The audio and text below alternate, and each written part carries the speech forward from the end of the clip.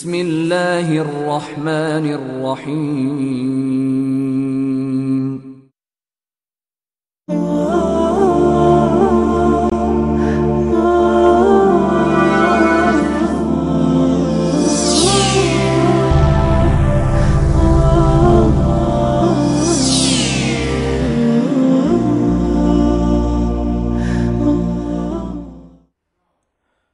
আসসালামু আলাইকুম রহমতুল্লাহি ওবরাকাত আলহামদুলিল্লাহ রবিল আলমিন ওসলাত ওসালাম আলা সঈদুল মুরসালিন ওয়ালা আলিহি ও আসহাবিহি ওবারক ওসাল্লিম সুবহানক লা ইলম লানা ইল্লা মা আল্লামতানা ইন্নাকা আনতাল আলিমুল হাকিম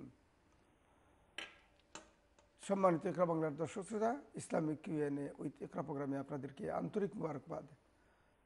আলহামদুলিল্লাহ, আমাদের সাথে রয়েছেন ব্রিটেনের শ্রদ্ধাবাজার আলিমে দিন সকলের সুপরিচিত ব্যক্তিত্ব জামিয়াতুল খায়ের আল ইসলামিয়ার প্রতিষ্ঠাতা প্রিন্সিপাল মুফতি শেখ আব্দুল মুন্তাকিম সাহেব। আসসালামু আলাইকুম। ওয়ালাইকুম আসসালাম।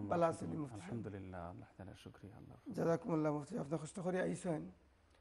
আমরা চাইমু আপনার কাছ থেকে দশ পনেরো মিনিট এই রমজান শরীফের বিভিন্ন ফজাইল সম্পর্কে আলোচনা করবা এবং দশ পনেরো মিনিট পরেই ইনশাআল্লাহ আমরা দর্শকদের বিভিন্ন গুরুত্বপূর্ণ প্রশ্ন নেওয়ার চেষ্টা করব। জাজাকুমুল্লাহ খায়ের জাজাকুমুল্লাহ তাআলা খাইরান হাফিজ হুসাইন আহমদ সাহেব বিশ্বনাথী হাফিজাকুল্লাহ তাআলা আল্লাহ তাআলা আপনাকে উত্তম বিনিময় এবং জাজায় খায়ের দান করুন। পবিত্র রমদান মাসে এত তাড়াতাড়ি ঘুম নিদ্রা একটু বিসর্জন দিয়ে আসাটা সহজ ব্যাপার নয়। আল্লাহ তাআলা আপনাকে যে পৌঁছবার তৌফিক দিয়েছেন এটা অনেক বড় সৌভাগ্যের ব্যাপার। আর আল্লাহ তাআলা আমাদের সকলকে জাজায় খের যেন দান করেন উত্তম বিনিময় দ্বারা যেন ধন্য করেন আলহামদুলিল্লাহ রবিল আলমিন ওসলাত ওসালাম আলা সঈদুল মুরসলিন খাতমিন নবীন ইমামিল মুরসলিন নবীনা ও সঈদিনা ও ইমামিনা ও কুদবতিনা ও মৌলানা মুহাম্মদ صلى الله تعالى عليه وعلى آله وأصحابه وبارك وسلم تسليما كثيرا كثيرا أما بعد قال الله سبحانه وتعالى شهر رمضان الذي أنزل فيه القرآن هدى للناس وبينات من الهدى والفرقان صدق الله العظيم সম্মানিত দর্শক শ্রোতা আসসালামু আলাইকুম রহমতুল্লাহ বারকাত ইসলামিক কিউএনএ উইথ ইকরা প্রোগ্রামে আমি মোহাম্মদ আব্দুল মুন্তাকিম আপনাদেরকে হৃদয়ের গভীরে থেকে শুভেচ্ছা জ্ঞাপন করছি। আল্লাহ রব্বুল আলমিনের সমীপে কায়মর বাক্যে মোনাজাত করছি। আল্লাহ রব্বুল আলমিন যেন তাঁর অপার অনুগ্রহে দয়াগুণে আমাদের জন্য এই রমদানকে খায়ের বরকতের মাধ্যম যেন প্রমাণিত করেন। আল্লাহ তাআলা যেন তার সন্তুষ্টি অনুযায়ী রমদানের হক কিছুটা হলেও আদায় করার আমাদেরকে তৌফিক যেন দান করেন। আল্লাহ আমিন ইয়া রব্বাল আলমিন। আসলে লজ্জা লাগে রমদানের কথা বলতে গিয়ে। কারণ যেভাবে রোজা রাখার হক প্রিয় নবী সাল আলী সাল্লাম আদায় করেছেন হজরত সাহাবে কেরাম এই মাসের প্রতি সম্মান প্রদর্শন করেছেন, যেভাবে তাবেইন তবে তাবেইন ইম্মা মুজতাহিদিন, সোলাহায় উম্মত, উম্মতের নেককারগণ আল্লাহওয়ালাগণ যেভাবে এই মাসের মর্যাদা দিয়েছেন, সম্মান করেছেন, এর হাজার বাগের এক বাগও আমরা আমাদের মধ্যে দেখতে পাই না। এজন্য তাদের ঘটনাগুলো থেকে শিক্ষা গ্রহণ করা উচিত এবং অন্তত অনুসূচনা অন্তরে থাকা প্রয়োজন আর একই সাথে নিজের সংশোধনের চেষ্টার প্রয়োজন। অনেক দূরবর্তী এলামায় কেরাম যারা আছেন, তাদের কথা তো আমি কি বলব? এখন দেখেন, ইমাম ইমাম শাফি রহমতুল্লা আলী একষট্টি খতম কোরআনে করিম করতেন। রমাদানের প্রতিদিনে এক পুরো প্রতি, এক দিনের মধ্যে পুরো খতমে কোরআন। রাতের বেলায় আবার আরও এক খতম, পুরো রাতে। তেরাবিহের নামাজে আরও এক খতম, একষট্টি খতম। ইমাম আবু হানিফা রহমতুল্লাহ আলহির ব্যাপারেও একষট্টি খতমের কথা এসেছে। আবার পঞ্চাশ থেকে বেশি খতম করেছেন, সেই বর্ণনাও পাওয়া যায়। আশি খতমের কোথাও কোনো কোনো বর্ণনায় পাওয়া গেছে, এমন বুজুর্গ, এমন অতিবাহিত হয়েছেন যারা এত বেশি কোরআন, এত বেশি বার কোরআন শরীফ পড়তে পেরেছেন। আসলে এখন তো কেউ বিশ্বাসও করবে না, এগুলো মিথ্যা কথা বলবে। মনে মনে ভাববে যে, এই কথাগুলো কি সত্য? এগুলো কি সম্ভব? কিন্তু রিয়ালিটি হলো যে মানুষ সাধনা করতে করতে অনেক উপরে চলে যায়, অনেক ঊর্ধ্বে চলে যেতে পারে, অনেক বড় মাকাম সে অর্জন করতে পারে। আল্লাহ রব্বুল আলমিন আমাদেরকে এই কথাটা বুঝবার যেন তৌফিক দান করেন। আমি, আমার উস্তাজ হজরত মুফতি আজম মুফতি মোহাম্মদ রফি উসমানী সাহেব রহমতুল্লাহ আলহি কিছুদিন আগে যার ইন্তেকাল হয়েছে। আল্লাহ তালা হজরত মুফতি রফি উসমানী সাহেব চ্যান্সেলর অফ দারুল উলুম করাচি রহমতুল্লাহ আলী আল্লাহ তালা তাকে যেন উচ্চ মকাম দান করেন, কবরকে যেন বেহেস্তের বাগান বানিয়ে দেন। আমি নিজে তার জীবনের যেটা আমার চোখে চোখে আমি একটু দেখার সুযোগ লাভ করেছি। এইটুকু দেখেও নিজেকে এখন লজ্জিত বোধ করি।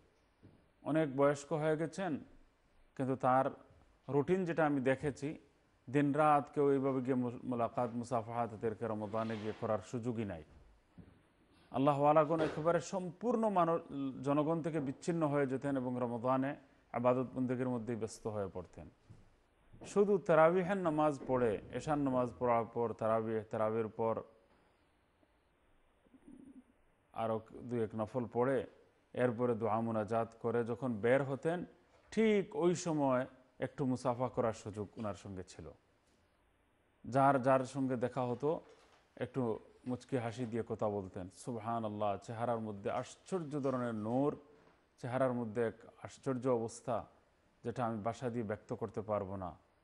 যে এমন এক রোহানিয়ত এবং আধ্যাত্মিক উৎকর্ষ। কারণ পুরো চব্বিশ ঘণ্টার মধ্যে এই সময়টাই শুধু উনি সকলের সঙ্গে দেখা করছেন। আর বাকি সময় আবাদত বন্দেগীর মধ্যে, দিনই কাজের মধ্যে এমনভাবে নিমগ্ন যে পুরো চব্বিশ ঘণ্টার খায়ের ও বরকত যেন ওই তেরাবিহের নামাজের পর মসজিদ থেকে বের হওয়ার সময় চেহারার মধ্যে প্রস্ফুটিত হয়ে উঠত। একজন মানুষ যদি ফুল ফুল টাইম এবাদতে থাকে, আর আপনাকে যদি মাত্র এক মিনিট দেখা করার জন্য সময় দেয়, আর পুরো আবাদতের সময়ের একটা প্রভাব তার চেহারার মধ্যে পরিলক্ষিত হয়, তখন ওই মুসাফার মধ্যেই আপনি বুঝতে পারবেন যে না, এই মানুষ বেকার কাজে, অনর্থক কাজে কোনো সময় ব্যয় করেনি। আগের সময়টা তার আবাদতের মধ্যেই ব্যয় হয়েছে। চেহারাই সাক্ষ্য দে চেহারাই বলে দে যে না, ওই মানুষ কোনো বেকার কথাবার্তায়, অনর্থক কথাবার্তায়, গুনাহের কোনো কাজে কোনো সময়, তার সময়টা ব্যয় হয়নি। আমি যখন মোলাকাত করছি, দেখা করছি, এর আগের সময়টা, এর আগের সময়টাও সে শুধু আল্লাহর সঙ্গে সম্পর্ক স্থাপনের মধ্যে, রোহানিয়তের মধ্যে আবাদত বন্দেগীর মধ্যে এবং আল্লাহর সঙ্গে সম্পর্ক স্থাপনের মধ্যে সে ব্যয় করেছে। বিধায় এখন তার চেহারার মধ্যে একটা সুবহান আল্লাহ অদেখা যেটা বাহ্যিক দৃষ্টি দিয়ে দৃষ্টি দিয়ে বোঝা যায় না, এমন একটা আধ্যাত্মিক উৎকর্ষ আমরা অনুভব করছি সুবহান আল্লাহ যেটা চোখ দিয়ে দেখা যায় না। পুরো একটা বাঁশবর্তী মানুষ হঠাৎ একজন ঢুকেছে, আপনি চেহারা দেখেই বলতে পারছেন যে সে নামাজ পড়ে। অথচ তাকে একদিনও জীবনে আপনি নামাজ পড়তে দেখেননি। জীবনে কোনো সাক্ষাৎই হয়নি। কিন্তু আপনার ওই ঢোকার সময় চেহারা বলে দিচ্ছে যে না, এই মানুষটার চেহারা নামাজি। এখন হাজারো চেহারার মধ্যে, এই চেহারার মধ্যে একটা পার্থক্য এবং পরিবর্তন লক্ষণীয়। তো আল্লাহ তালা এই বিশেষত্ব এবং বৈশিষ্ট্য আল্লাহ তালা চেহারাগুলোর মধ্যে দান করেছেন। মানুষ দেখার পরপরই অন্তর সাক্ষী দিয়ে দেয় যারা আল্লাহর খাস বান্দা, নামাজ নামাজ পড়নেওয়ালা, বন্দেগীর মধ্যে ব্যস্ত যারা থাকেন সুহান আল্লাহ তো হজরত কী করতেন? আমার উস্তাদের কথা আমি বলছি। আমি নিজে যেটা লক্ষ্য করেছি তেরাবিহান নামাজের পরে যে বের হতেন, তো তেরাবিহান নামাজের পর থেকে আরম্ভ করে সাহরির আগ পর্যন্ত যে তাহাজুদের নামাজ পড়তেন, এর আগ পর্যন্ত তাহাজুদের নামাজ শুরু করার আগ পর্যন্ত তিনি কিতাব লেখার কাজে ব্যস্ত থাকতেন। ওইটা ছিল ওনার তসনিফাত এবং কিতাব লেখার কাজ। তো যারা সঙ্গী ছিলেন, কিতাব লেখার কাজে সহযোগিতা করতেন এর মধ্যে একজন বাংলাদেশি আছেন বড় মুফতি মুফতি দিলাওয়ার হোসেন সাহেব দামদ বরাকাতম তো উনি একবার নিজে আমাকে বলছেন যে হজরত তো এই তেরাবিহান নামাজের পর আমিও বাসায় যাই আর হজরত ওই সময় কিতাব লেখার কাজে ব্যস্ত থাকেন। ওই সময় একটু ওই লেখার ফাঁকে আপ্যায়নও কিছু হয়ে যেত কিছু জুস পান করতেন বা কোনো চা ইত্যাদি পান করে নিলেন। এরপরই চলে আসলো তাহাজুদ সাহরির সময়। আর সাহরির সময়ের পর সুবহান আল্লাহ ফজরের নামাজে সাহরি খেয়ে ফজরের নামাজে চলে গেলেন। ফজরের পর আমি নিজে বসে থাকতাম মসজিদে। তিনি আমি অন্তত মানে দশটা পর্যন্ত সকাল। উনি তিলাওয়াতের মধ্যে থাকতেন। আমার কই সারা রাত জাগ্রত মধ্যে আবার সকাল দশটা পর্যন্ত তিলাওয়াতে। এরপরে বাসায় এসে ধরেন ঘন্টাখানেক আরাম করে এরপরে অফিসে চলে আসতেন। এই ঘণ্টা দেড় ঘণ্টার উপরে ঘুমানোর রমাদানে ওনার কোনো সুযোগই হতো না। এরপরে জুহরের পরে রাত্রে যে তারাবিহের নামাজে কোরআন পড়ে নিজে শোনাবেন নিজে হাফিজে কোরআন ছিলেন দুই রাকাতের মধ্যে পুরো এক পারা দেড় পারা নিজে পড়তেন পড়তেন। তো এটা আশ্চর্য। তো আমি এগুলো দেখতেই থাকতাম। আর এরপরে চব্বিশ ঘণ্টার মধ্যে তারাবিহের পর শুধু সালাম মুসাফার দুই এক মিনিট এর ছাড়া আর কোনো সুযোগ ছিল না দেখা সাক্ষাতের। তো অবস্থা সুহান আল্লাহ এইরকম আল্লাহ তালা যেন আমাদেরকে রমদান অতিবাহিত করার তৌফিক দান করেন। জাজাকুমুল্লাহ খায়ের মুফতি অত্যন্ত গুরুত্বপূর্ণ আলোচনা। আমরা ইনশাআল্লাহ ফাঁকে ফাঁকে আরও শোনার চেষ্টা করব। যেহেতু প্রচুর কলার লাইনে চলে এসেছেন এই মুহূর্তে দেখি আমাদের সাথে কে রয়েছেন। হ্যালো কলার সালাম আলাইকুম। হ্যালো আসসালামু আলাইকুম। ওয়ালাইকুম সালাম রহমতুল্লাহ। আমার লাই তো এখন বাচ্চা কিন্তু লাই এখন যে ইনশাআল্লাহ জি। আপনার কোনো প্রশ্ন আছে? তেলাই কিতা তর্তি করতে আমার কইয়া ঢুকারে আপনার যে কিতা হইলা? বাচ্চা কিন্তু বিয়া শাদি হওয়ার লাগে। বাচ্চা কিন্তু লাগি কিতা হওয়ার লাগি ভালো হইবার লাগি। বিয়ার লাগে আর কি বিয়া বিয়ার লাগি আচ্ছা। আর কোন প্রশ্ন আছে বিয়া শাদি হইবার লাগে কি আল্লাহ একটা ইয়ে দিতা আমার মেয়ে তো চাইলে না কি বিয়া ইয়ে করুক না আমি আল্লাহ পাইলে তাই উচ্চ তার পছন্দ লাগে না। কি একটা তার আপনার একটা তাত্তি করিয়া দেখা আমার শিখাইয়া দেখা আচ্ছা। আর আমার দোয়া করেছেন আমার লাগে আল্লাহ সব সালামতে রাখতে পারছে আমিন আমিন ইনশাআল্লাহ আপনি পরেশানি করবার মুফতি সাহেব ইনশাআল্লাহ দোয়া করবা এবং কোন একটা দোয়া হইয়া দিবা ইনশাআল্লাহ আপনার আর কোনো প্রশ্ন আসেনি আপনার ঠিক আছে ইনশাআল্লাহ আপনি শুনতে থাকুক জাকুমুল্লাহ খেরান খুব জরুরি একটা প্রশ্ন অনেকের মনের মধ্যে এটা আসে এটা অনেকের অন্তরে কিন্তু এটা আসে প্রশ্নটা তো আসলে আমি যেটা বলব, নিজের জবান দিয়ে যদি কেউ দোয়া করেন, তো দোয়ার চেয়ে ভালো আমল আর হতে পারে না। মন খুলে, প্রাণ উজাড় করে, সব সমস্যা আল্লাহর সামনে পেশ করা, এটা খুবই জরুরি। পাঁচ বক্তের নামাজ নিয়মিত আদায় করা, এগুলো হলো সবচেয়ে বড় আমল। এর মাধ্যমে আল্লাহ তালা সকল সমস্যার সমাধানও করে দেন। তো আল্লাহর সাহায্য কীভাবে আসবে যদি আমরা পাঁচ বক্তের নামাজ নিয়মিত সুন্দরভাবে, সঠিকভাবে হক আদায় করে, সঠিকভাবে যদি আমরা আদায় না করি, গুনাহ থেকে যদি আমরা বেছে না থাকি, গুনাহ থেকে যদি মানুষ বেঁচে থাকে, ফরজ ওয়াজিব যদি সঠিকভাবে আদায় করে, বান্দার হক, আল্লাহর হক সব কিছু ভালো করে কেউ আদায় করে আর এরপরে দোয়া করে, তো আমি অন্তত অনুভব করি যে আল্লাহর সাহায্য অবশ্য, অবশ্যই আসবে। দোয়া কবুল হয়ে যাবে যেটাই করেক না কেন। তো এই কথাগুলো আমি এই জন্য বললাম যে আজকাল অনেক আমল বলে দেয়া হয় ওজিফা বলে দেয়া হয়, কিন্তু এর দ্বারাও ফায়দা হয় না কেন? এর ফায়দা হয় না কেন? আল্লাহকে আমরা নারাজ করে রেখে আসছি। এখন আল্লাহকে নারাজ করে তার হক আমি আদায় করলাম না, ফরজ দায়িত্ব আমি পালন করলাম না। অবশ্য পালনীয় যে ডিউটি, সেটা আদায় করে আমি আমার আল্লাহকে রাজি এবং খুশি করার চেষ্টা আমি করলাম না। আর এরপরে শুধু আমি ইয়াওদৌদু পড়ে ইয়াওজ লতিফু পড়ে যে আমার কাজ হয়ে যাবে, এটা সহজ ব্যাপার নয়। কারণ আল্লাহকে রাজি করার মাধ্যমে এবং পরে এই সমস্ত কাজ করা উচিত। এখানে আমাদের সব, যত সব ভুল। ফরজ নামাজ আবাদত বন্দেগী আদায় হচ্ছে না, অন্যান্য কাজ আমরা করছি। তো আমি এরপরেও বলব, রব্বি ইন্নি লিমা আনজাল ইলাইয়া মিন খৈরিন ফকির। একটা আয়াতে করিমা আছে। রব্বি ইন্নি আমি এটা একটু দেখে বলতেছি পুরো সঠিকভাবে। এই রব্বি ইন্নি আর না না ওইটা না রব্বি আমি আপনাদেরকে বলব একটু পরে ইনশাআল্লাহ। এছাড়া সুরায় ওয়াকার আত্রে তিলাওয়াত করবেন আর সুরায় তারিক সুরায় ওসামা ই ও তারিক ওমা আদরাকম তারিক আন্নাজম সাকিব এই যে সুরায় তারিক রয়েছে শেষ পাড়ায় সোরায় তারিক এবং সুরায় ওয়াকা এই দোনো সোরা যদি সকাল বিকাল তিলাওয়াত করে কেউ, তাহলে শাদির ব্যবস্থা না থাকলেও ইনশা আল্লাহ তালা শাদির ব্যবস্থা হয়ে যাবে ইনশা আল্লাহ তালা তো এটার জন্য এই চেষ্টাটা আপনারা করবেন আল্লাহ তালা সহজ করে দেবেন ইনশাআল্লাহ। এই দুটো আমলের কথা আমি বললাম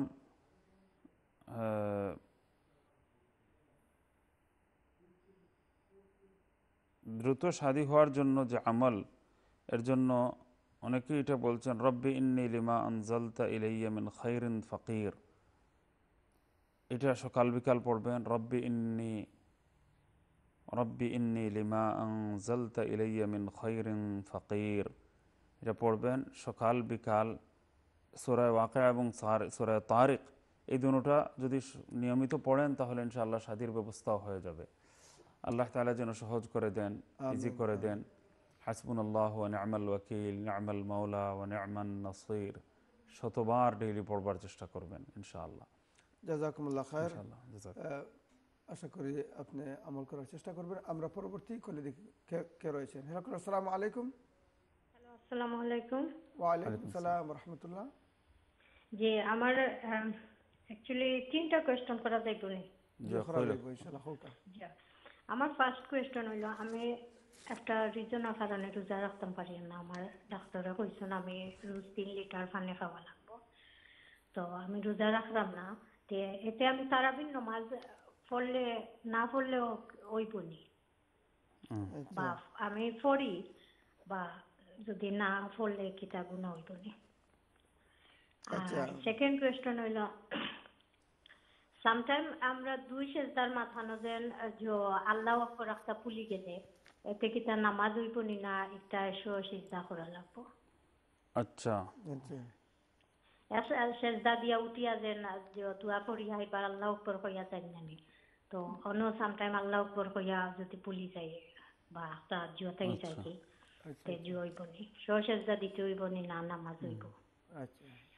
আর তিন নম্বর কোয়েশ্চন হইল যে কত আমি জানি যে জানি কত ফ্যামিলির জাকাত খাওয়ার তেন জুকা তেন মানুষে দিলে খাই যা বা কোনো জিও নাই। বাট জাকাত কইয়া দেতে তারা মাইন্ড করে তে এমত অবস্থায় তারারে পয়সা দিলে কইয়া দিতাম নি না বা কিলা দিতাম আচ্ছা আচ্ছা।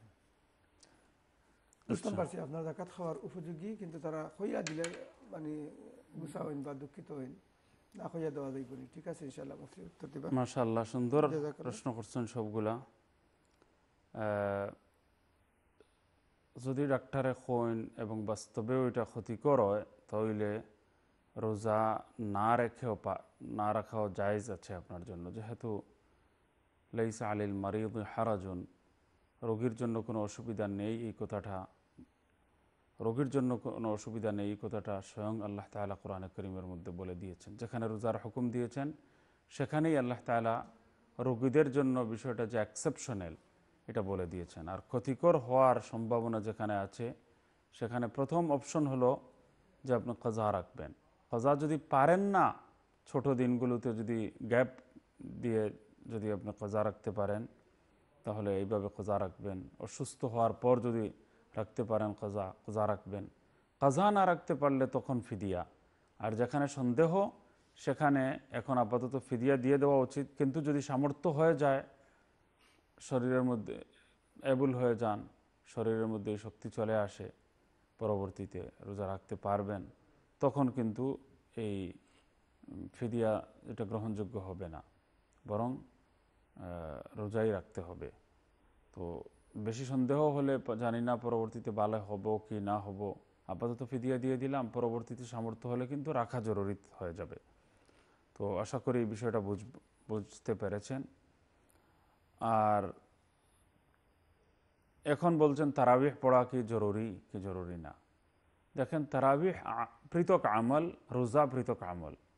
এটা রমাদান মাসের পৃথক আমল হলো রোজা, পৃথক আমল হলো তারাবিহের নামাজ। তো এখন যদি আমি রোজা নাও রাখতে পারি, তবুও তারাবিহের নামাজ পড়ার সুন্নত যেটা, এটা অবশিষ্ট থাকবে। আমি চাইলে পড়তে পারব। এখন যদি কেউ বলে, আমি রোজা রাখতে পারিনি, তাহলে নামাজ আর বাদ দিয়ে দিই। জেনারেল নামাজ আমি বাদ দিয়ে দিই। এটাও তো হয় না। একটার সঙ্গে আরেকটার ডাইরেক্ট এমন কোনো রিলেশনশিপ নেই যে একটা করলে আরেকটা করতে হবে বা একটা করতে না পারলে আরেকটা করা যাবে না, এমন কথা নয়।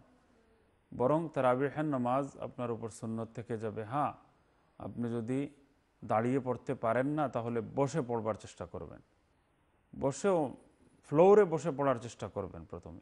ফ্লোরে বসতে না পারলে তখন চেয়ারে বসার প্রশ্ন আসে। তখন মজবুরি যদি হয়, অপারগতা যদি হয়, তবেই কেবল চেয়ারে বসে পড়তে পারেন। তো আপনার যদি কষ্ট হয়, তাহলে ফ্লোরে বসে পড়ে নেবেন। দাঁড়িয়ে পড়া কোনো জরুরি নয়। তখন রুকু আপনি একটু এইভাবে করলেন, আর সেজদার মধ্যে আর একটু বেশি ঝুঁকলেন। তো এইভাবে আপনার রুকু সেজদাও সহজ হয়ে গেল। তো অনেক লম্বা নামাজের যে কষ্ট, সেটা আর হলো না। তো আপনার অসুস্থতা যেহেতু মোটামুটি আছে এবং পানি পান করতে হয় দিনের বেলা, তো সম্পূর্ণ সুস্থতা নয়।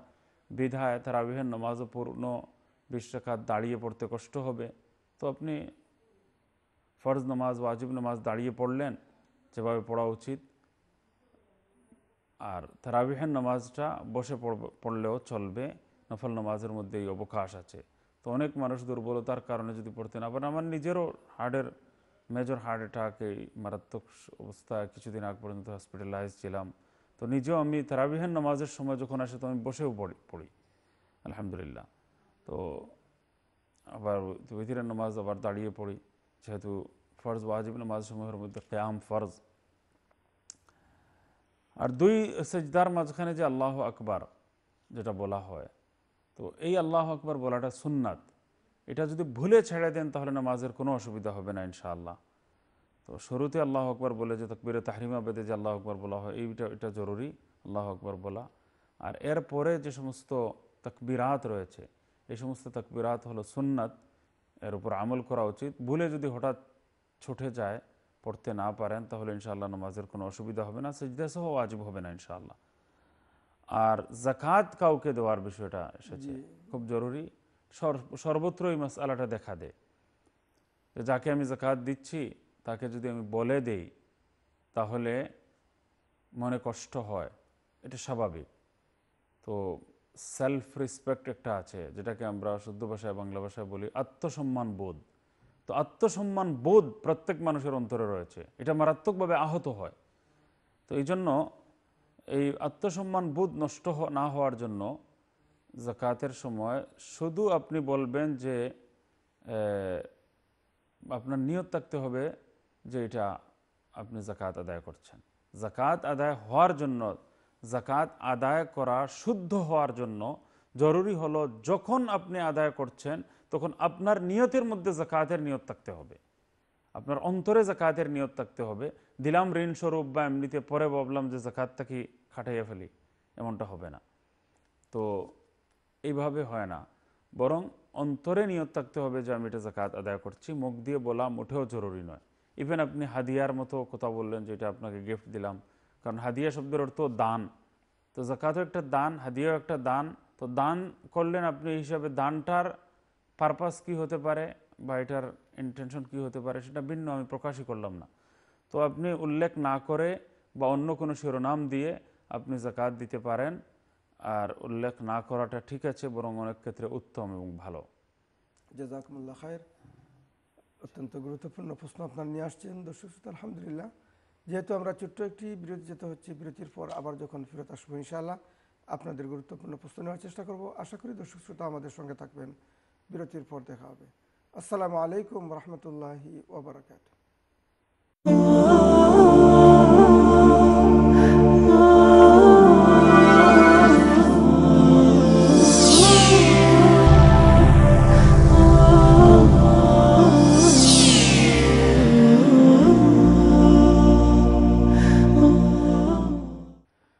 আসসালামু আলাইকুম রহমতুল্লাহি ওবরাকাত সম্মানিত ইকরা বাংলার দর্শক শ্রোতা ইসলামিক কিউএনএ ইকরা প্রোগ্রামে আপনাদেরকে আন্তরিক মুবারকবাদ।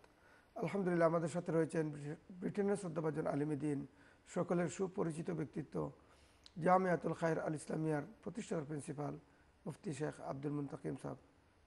জাজাকুমুল্লাহ খায়ের মুফতি সাহেব। সময় দিলেন আলহামদুলিল্লাহ এবং অত্যন্ত গুরুত্বপূর্ণ প্রশ্ন অনেকে নিয়ে আসছেন।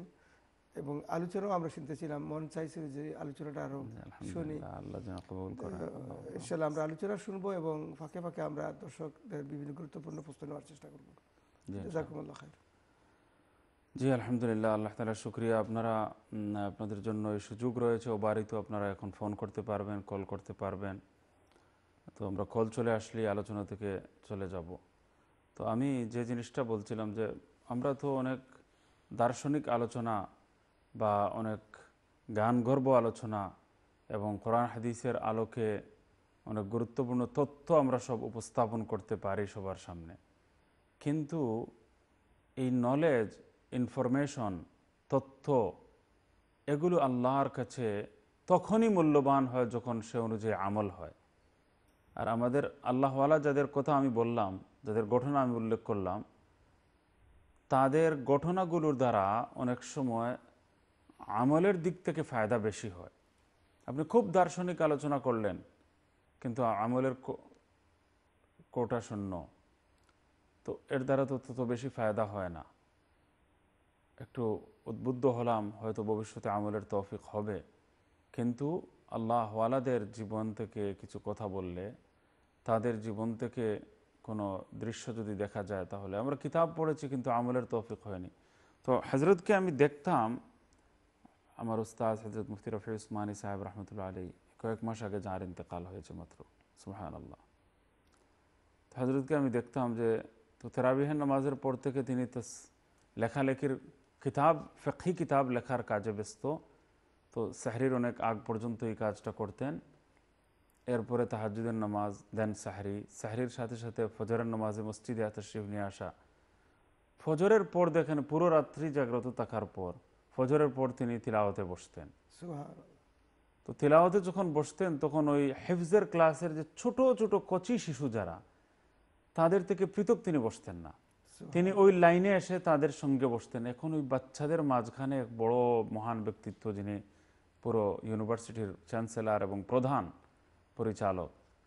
সুবহান আল্লাহ নিজেকে এমনভাবে বিলীন করে দিয়ে সম্পূর্ণ নিঃশেষ করে দিয়ে আমিত্ব, বড়ত্ব, অহমিকা সব কিছুকে সম্পূর্ণ ধূলিসাৎ করে দিয়ে, বিলীন করে দিয়ে ওই ছোট বাচ্চাদের সঙ্গে বসে তিনি তিলাওয়াতের মধ্যে ব্যস্ত। আল্লাহ আকবর, তিলাওয়াত করতে করতে করতে একেবারে ইশরাকের সময় চলে আসতো। সকাল আটটা, এই এই ধরনের সময় চলে হতো। কই অন্ধকার ছিল, ফজরের, প্রথম বক্তে ফজরের নামাজ পড়া হয়। আপনারা জানেন জুমার রমাদান মাসে। তো ওই সময় থেকে আরম্ভ করে একেবারে সকাল হয়ে যাচ্ছে যাচ্ছে। এরপরে হজরত তিলাওয়াত শেষ করে ইশরাকের নামাজ পরে চাষতের নামাজ। তো আমরা আটটা নয়টা দশটা হয়ে যেত। তো আমার মনে মনে ভাবলাম যে হজরত বয়স বৃদ্ধ হওয়া সত্ত্বেও যখন এই আমল করতে পারছেন আমি কেন বসতে পারব না? সুবহান আল্লাহ আমার তিন পারা চার পারা হয়ে যেত তিলাওয়াত এক বৈঠকে। তিন পারা তো আমি এক রমাদান এইভাবে আল্লাহ শুক্রিয়া অতিবাহিত করেছি। তো ওই আল্লাহ আলাদেরকে দূর থেকে দেখে দেখে। আমি ভাবলাম যে আমি কেন ফজরের পরে ঘুমাবো? ফজরের পরে সাহরি খেয়ে, এরপরে ফজরের নামাজে মসজিদে গিয়ে ফজরের নামাজ থেকে আর ফেরত আসতাম না। ওই আটটা, নয়টা, দশটা পর্যন্ত দেখতাম হজরত বসে আছেন। তো আমার মনের মধ্যে একটা আগ্রহ জাগলো যে আমি কেন পারব না। ওই বছরের রমাদানই সুবহান আল্লাহ সবচেয়ে ভালো অতিবাহিত হয়েছে। তো প্রথম একদিন, দুই দিন অতিবাহিত হওয়ার পরে আমার এক দোস্ত হঠাৎ এসেছেন, আমার এক বন্ধু মানুষ। বড় আলিমে দিন। উনি দেখতে এসেছেন তো বলছেন "এব- এবার আপনার চেহারায় বড় বেশি নূর দেখা যাচ্ছে। তো আসলে আমি এটা বলিনি, তো আমি বললাম যে হজরত যে এই আমল করছেন আর আমি মসজিদের মধ্যে এটা একটু ফলো করার চেষ্টা করছি। আসলে এই কথাটা আমি এই জন্য বলছি যে বর্তমানে এটা নিয়ে আফসোসই করতে হচ্ছে, এরকম সুযোগ, এরকম পরিবেশ আমাদের চোখের সামনে নেই। তো আল্লাহ আলাদের সান্নিধ্যে গেলে, তাদের পরশে থাকলে তাদের আল্লাহওয়ালাদের পরিবেশে থাকলে জীবনে যে পরিবর্তন আসে, নিরেট, শুষ্ক নলেজ দ্বারা এই কাজটা হয় না। এখানে আমরা রমদান অতিবাহিত করছি কোনো বড় আল্লাহওয়ালাদের সান্নিধ্যে নয়। এ কারণে আমরা এরকমের পরিবেশ পাচ্ছি না। তবু আপনারা মসজিদে যাবেন, নেক মানুষদের সান্নিধ্যে যাবেন, যারা আমল করেন তাদের পরিবেশে যাবেন, দেখবেন কিছু আমল বেড়ে যাবে রমদান মাসে। আল্লাহ তালা যেন আমলের তৌফিক দান করেন। জাজাকুমুল্লাহ আমরা দেখি প্রশ্নকে নিয়ে আসছেন। হ্যালো, কলার, সালাম আলাইকুম। ওয়ালাইকুম সালাম রহমতুল্লাহ আমি একটা জিনিস জানতে পারছিলাম আমার হরি বয়স্ক তাই রোজা রাখলাম চেষ্টা করে না কি তার অনেক বেমার আছে এইটির উপরে। জি। তো বেসিক্যালি আমি একই তানোর ও রোজার কফারা দিলাম আপনাকে কত করি আইব আর কি তানোর জি আচ্ছা ঠিক আছে। রমজান ফিদিয়া দাও। আর কোনো প্রশ্ন আছে আপনার? আর একটা কোয়েশ্চেন হলো নিজের ফেভারে জাকাত দেওয়া যায় বই গরিব আর কি দেওয়া যায় তাদের জাকাত ঠিক আছে ইনশাল্লাহ আপনি শুনতে থাকুন। জি ইনশাআল্লাহ। শাশুড়ি রোজা রাখতে পারেন না ফেদিয়া কত হবে? আসলে এটা কাফারা শব্দ নয় এটা হলো ফেদিয়া। রোজা যদি সঠিকভাবে কেউ সঠিক টাইমে নিজে নিজে আদায় করে তাহলে এটা তো আদায় হয়ে গেল। আর আদায় যদি হয় না, তাহলে কোনো কোনো সময় এটাকে কাজা রাখতে হয়। যদি সামর্থ্য থাকে, তাহলে এটা প্রথম অপশন হলো কাজা রাখা, কাজা রাখতে হয়। তো কাজা রাখার সাথে সাথে আবার কাফারা হলো ষাটটা রোজা sixty six zero six zero ষাটটা রোজা রাখতে হবে একাধারে। মাঝখানে যদি কোনো গ্যাপ চলে আসে, তাহলে আবার নতুন করে শুরু থেকে রোজা রাখতে হবে। আটান্নটা রেখে যদি কেউ একটা রোজা রাখতে না পারে তাহলে শুরু থেকে আবার এক থেকে আরম্ভ করে ষাটটা রাখবেন তো। একটার বদলে একটা রাখা হলো কাজা। এটাকে বলা হয় কাজা কাজা রোজা। বাংলায় রাখবেন কাজা রোজা। তো আসলে কাদা কাদা রোজা একটা হবে একটার বদলে একটা রাখা। আর কাফারা হলো ষাটটা রোজা রাখা সিক্সটি রোজা রাখা একসঙ্গে। ওইটা না পারলে ষাটজন মিসকিনকে দুই বেলা পেট ভরে খাওয়ানো। তো এটা যদি কেউ পারে না, ওই ষাটটা রোজা না রাখতে। তো এটা কোন সময় হবে? যদি নাউজুবিল্লা নাউজুবিল্লা যদি ফরজ রোজা কেউ ছেড়ে দেয়, ইচ্ছাকৃতভাবে, সম্পূর্ণরূপে স্বজ্ঞানে স্ববুদ্ধিতে ইচ্ছাকৃতভাবে তিনটি কাজের মাধ্যমে, কোনো কিছু খেয়ে, কোনো কিছু পান করে, অথবা স্ত্রীর সঙ্গে মেলামেশা করে, যদি এই তিনভাবে তিন কারণের কোনো একটা কারণ দ্বারা ইচ্ছাকৃতভাবে ভুলে নয়, ভুল বুঝাবুঝির কারণে নয় কোনো মিসআন্ডারস্ট্যান্ডিংয়ের কারণে নয়। সম্পূর্ণ সজ্ঞানে, সম্পূর্ণ সুস্থ বা অবস্থায় যদি ইচ্ছাকৃতভাবে কোনো রোজা ছেড়ে দেয়, তাহলে কাজাও রাখতে হবে একটার বদলে একটা, আর ষাটটা রোজা রাখতে হবে কাফারা স্বরূপ। আর যারা দিতে মানে কাজা, যাদের উপর কাজা জরুরি হয়ে গেছে, রোজা রাখতে পারছেন না, অসুস্থতার দরুন, বিভিন্ন অসুবিধার কারণে, তাদের জন্য মাসআলা হলো যে তারা যদি কাজা না রাখতে পারেন প্রথম অপশন কজা রাখা রোজা না রাখতে পারলে, তো তারা ফিদিয়া দেবেন। এখন কাজা যারা রাখতে পারবেন না, তারা ফিদিয়া দেবেন। আর এই ফিদিয়াটা হলো প্রতি রোজার বদলে একটা ফিতরার সমান টাকা দেওয়া। কাউকে দুই বেলা পেট ভরে, দুই বেলা কোনো মিসকিনকে, গরিবকে জাকাত খাওয়ার যোগ্য গরিব মানুষকে যদি দুই বেলা খাওয়ান, তাহলে এর দ্বারা এক রোজার ফিদিয়া হয়ে যাবে।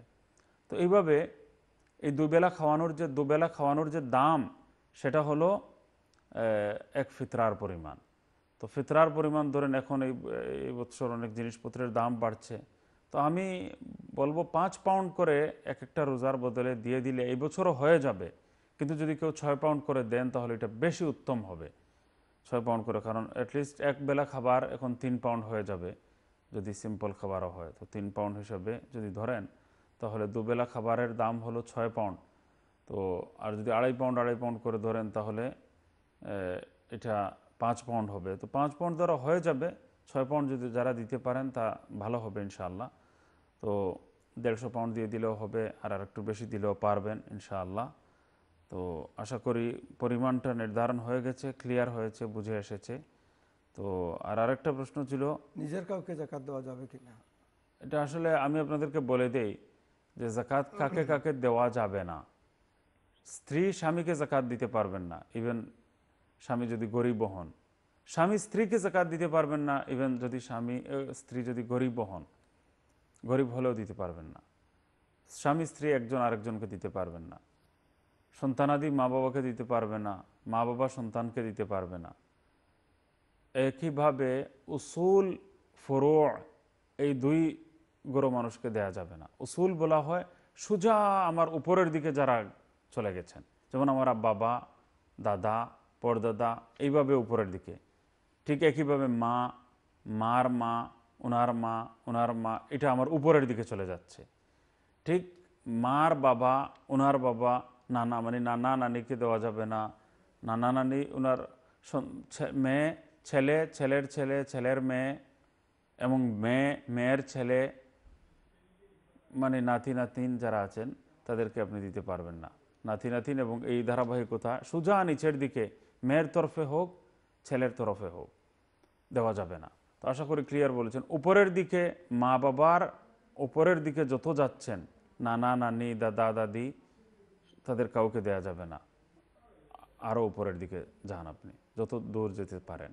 ঠিক একইভাবে নিচের দিকে নিজের সন্তানের ডাইরেক্ট নিজের সন্তান সন্তানের সন্তান এটা ছেলে হোক বা মেয়ে হোক তাদের কাউকে দেয়া যাবে না। আর এছাড়া সাইডের যারা আছেন তাদেরকে দেয়া যাবে। এটা সোজা নিজ থেকে ডাইরেক্ট চলে গেছে নিচের দিকে। ডাইরেক্ট নিচে নিজের থেকে চলে গেছে উপরের দিকে। এই দুই গ্রুপকে দেয়া যাবে না। এটাকে বলে উসুল এবং ফুরোয়া মানে আমি যে গাছের ডাল সেই গাছকেও দেওয়া যাবে না আর ওই ডালকেও দেওয়া যাবে না। ডালকেও দেওয়া যাবে না। তো ডালকে বলা হয় ফুরোয়া আর গাছের জড়কে বলা হয় উসুল। তো উসুলকেও দেওয়া যাবে না ফুরোড়কেও দেওয়া যাবে না। আর সাইডে দেওয়া যাবে বাইকে দেওয়া যাবে। যদি ভাই বোনকে দেওয়া যাবে জাকাত ভাইকে দেওয়া যাবে, যদি তারা যোগ্য হয়ে থাকেন, যদি তারা লেস দেন নেশাব হয়ে থাকেন, যে নেশাব থাকলে পরে কারও কারোর জন্য জাকাত গ্রহণ করা জায়েজ নয়, এমন জাকাতের চেয়ে কম সম্পদের মালিক যদি হন, সাড়ে বায়ান্নব্বই রূপার যে মূল্য হয়, তা থেকে যদি কম হয়, তাহলে ইনশাআল্লাহ তালা তাদেরকে জাকাত দিতে পারবেন। নিজের ভাইকে দেওয়া যায় বোনকে দেওয়া যায়। যদি তারা জাকাত খাওয়ার যোগ্য হন লেস দেন নেশাব হন মামাকে দেওয়া যায় খালুকে দেওয়া যায় খালাকে দেওয়া যায় চাচাতো ভাই যারা আছেন তাদেরকে দেওয়া যায় ফুফুতো ভাই খালাতো ভাই বোন তাদের সবাইকে দেওয়া যায় খালাকে দেওয়া যায়। এরা ডাইরেক্ট নয়। তো আশা করি বুঝতে পেরেছেন ক্লিয়ার হয়েছে মাসালাটি ইনশাআল্লাহ। এখন কি লাইনে কেউ আছেন? জাজাকুমুল্লাহ খায়ের আমরা পরবর্তী কলে যাচ্ছি হ্যালো কলার সালাম আলাইকুম। ওয়ালাইকুম আসসালাম। জি আপনার প্রশ্ন বলেন। জি। বলুন আপনার প্রশ্ন। জি ভাই আমার লোকে মাসানি আছে জি জি জি আপনার লোক জি আচ্ছা ভাই স্যার। আমি একটা প্রশ্ন রিলেটেড টু খবরিস্তান বেসিকলি আমি ওটা যে আমরা যে একটা হেডস্টোন দেই হেডস্টোনের সাথে কেউ কেউ আছে তারা খেয়াবও দেন তো এটা কোথান যায় আছে ওটা জানবার লাগে। আমি একটু আচ্ছা এই দুইটা জিনিস একটু ক্লিয়ার করবানি আপনি প্লিজ আচ্ছা হেডস্টোন দে আমরা নর্মালি আমরা খবরিস্তানও দেই নানি একজন মারা গেলে নাম লেখা থাকে যে একটা নেম প্লেট জি হয় জি হয় নাম লেখা থাকে। হ্যাঁ। আর ওটার উনকু আজকাল দেখছি কেউ কেউ একটা খেয়াবও দেন ধরলেও at least about five centimetre long মানে মানে সাইড ওটা রাখি বেড দেন। বেড়া দিন। জি হয়। বুঝছেন নি আমি কিতা হইতাম জি। বুঝছি। ঠিক আছে। এটা হয় কার্ভ হয় আপনার ইংলিশ ভাষায় হয় কার্ভ বুঝছেন নি সাইড দ্বারা আটু আর হেডস্টোন থাকে ধরলেও হিতানে দিই আচ্ছা ঠিক আছে ইনশাআল্লাহ আমি বলছি ঠিক আছে আপনি শুনতে থাকুক ইনশাআল্লাহ। আর কোনো প্রশ্ন আছে আপনার না জি না থ্যাংক ইউ জাজাক জাজাকাল্লাহ খায়ের সুন্দর প্রশ্ন আপনি করেছেন। আহ, কবরকে সাদা সিধে রাখা একেবারে সিম্পল রাখা এটা ইসলামের শরীয়তের হুকুম। এটাকে বেশি বেশি পাকা করে ওইটাকে খুব সৌন্দর্যমণ্ডিত করা এবং এখানের মধ্যে কোনো একটা খুব জাঁকজমকপূর্ণ একটা পরিবেশ তৈরি করা, এটা জায়জ নয়। কোনো ধরনের উৎসবের জায়গায় পরিণত করা ঠিক নয়। এই জায়গাটাকে সুন্দর করার জন্য, খুব দর্শনীয় একটা স্থানে পরিণত করার জন্য বিভিন্ন ধরনের বিল্ডিং তৈরি করা বিভিন্ন ধরনের কারুকার্য খচিত বিভিন্ন কাজ করা, এগুলো থেকে বিরত থাকতে হবে আমাদেরকে। কিন্তু শুধু কবরের চিহ্ন ঠিক রাখার জন্য নেম প্লেট লাগানো ওলামা একরাম জায়েজ বলেছেন। এটা সৌন্দর্যমণ্ডিত করা, কারুকার্য খচিত করা এবং এটাকে মানে বৈচিত্র্যমণ্ডিত করার জন্য বেশি সুন্দর এবং জাঁকজমকপূর্ণ করার জন্য কোনো আয়োজন নয়, বরং শুধু হাজারো কবরের মাঝখানে বা এক, দুই জেনারেশন চলে গেলে একা কবরও যদি হয়, তবু এটা জানা যাবে না, পরবর্তী প্রজন্ম জানতেই পারবে না এটা কার কবর কবরও একটা তো হলো কবর হওয়াটাও নিশ্চিত থাকল। এই জায়গাটা যে এমন এক সময় আসবে যে হয়তো কবর কি কবর নয়, সেটাও হয়তো না থাকতে পারে কারও নলেজে তো মানুষ অন্য কাজে ব্যবহৃত করে ফেলতে পারে। তো এটা কবর কবর হিসাবে যে খবর, এটাও ক্লিয়ার থাকল যে এটা এখানে অমুকের খবর রয়েছে। একই সাথে কার কবর সেটাও ক্লিয়ার থাকল।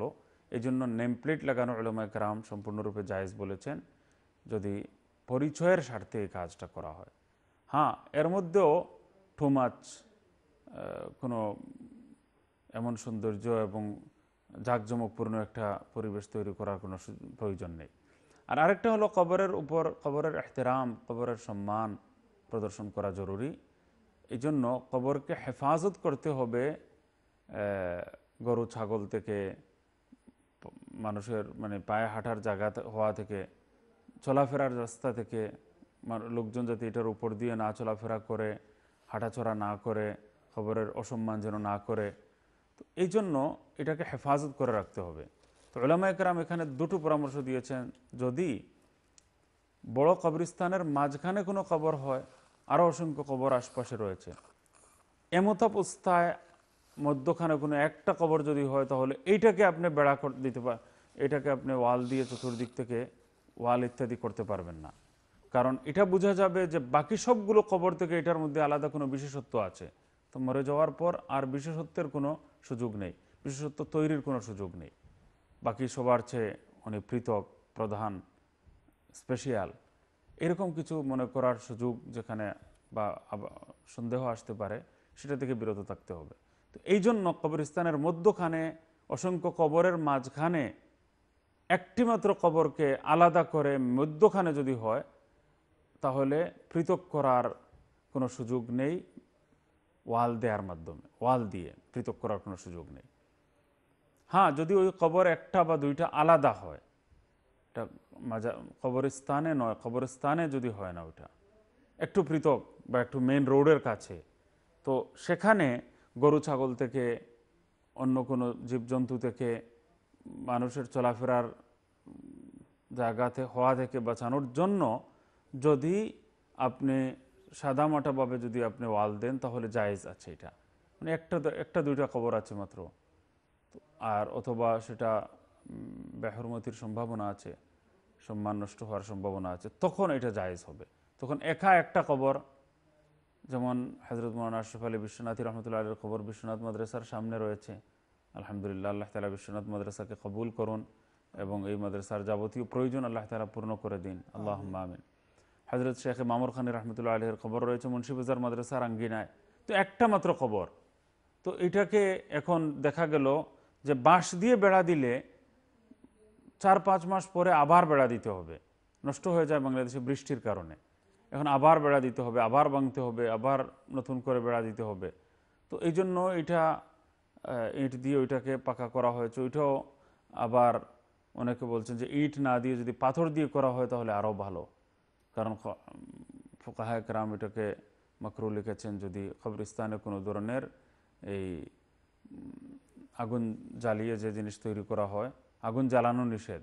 তো এখন ইট তো আগুন দিয়ে তৈরি করা হয়েছে এই জন্য ইট থেকেও বিরত থেকে মানুষ মানে আরও বেশি সতর্কতা অবলম্বন করে পাথর দিয়ে সেখানে যদি ওয়াল দিয়ে দেওয়া হয় এটা যদি একটা বা দুইটা কবর হয় আলাদা তখন এটা মাকরু হবে না ইনশাআল্লাহ।